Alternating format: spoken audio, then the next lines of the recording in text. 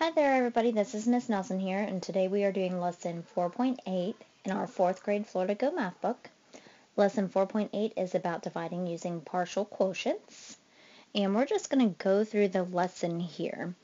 So it says, at camp there are five players on each lacrosse team. If there are 125 people on lacrosse teams, how many teams are there? So our problem is 125 divided by 5.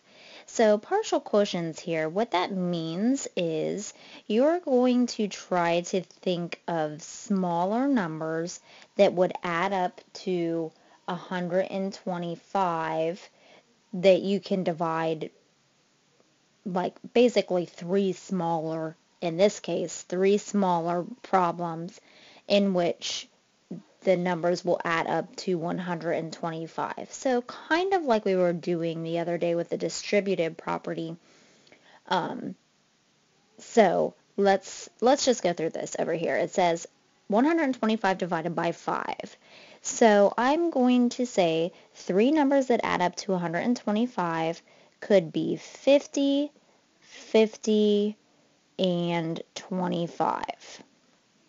These will be easier division problems for me to solve than just doing 5 into 125. So I know that 5 fits into 50 10 times. So if I subtract 50 from 125, I will get 75. And then if I subtract 50 again, I'll get 25 and I've, I subtract then my last 25, I'll get 0. So 5 fits into 50 10 times.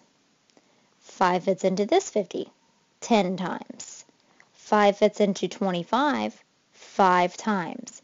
So all together, 10 plus 10 plus 5, 10 plus 10 plus 5 is 25.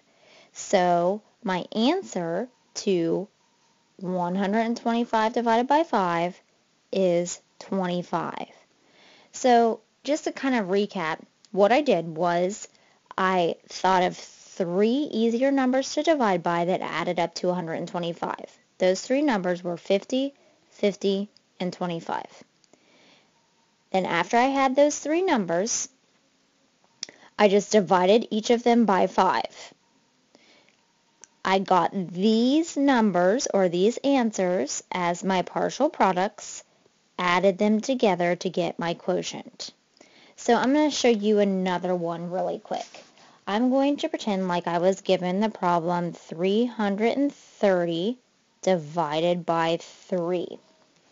And I'm going to say that I could choose to break up that 330 into 300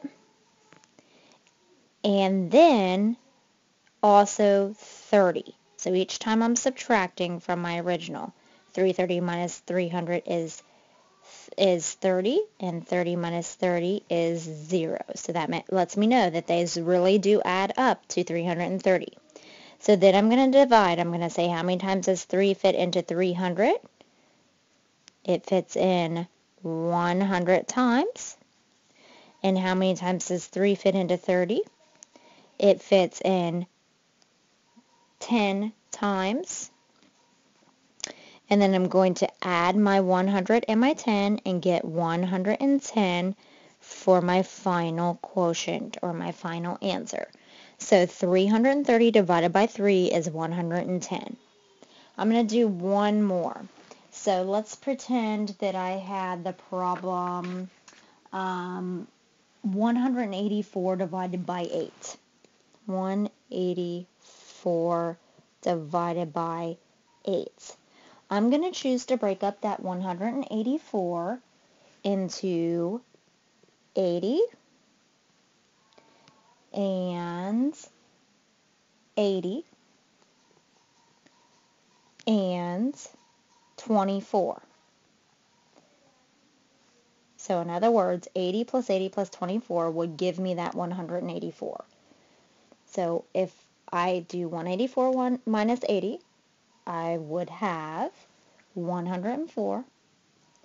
And then if I had 104 minus 80, I would have 24.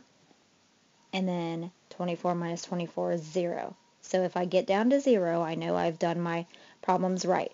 So my division problems, my three division problems are going to be 80 divided by 8, 80 divided by 8, and 24 divided by 8.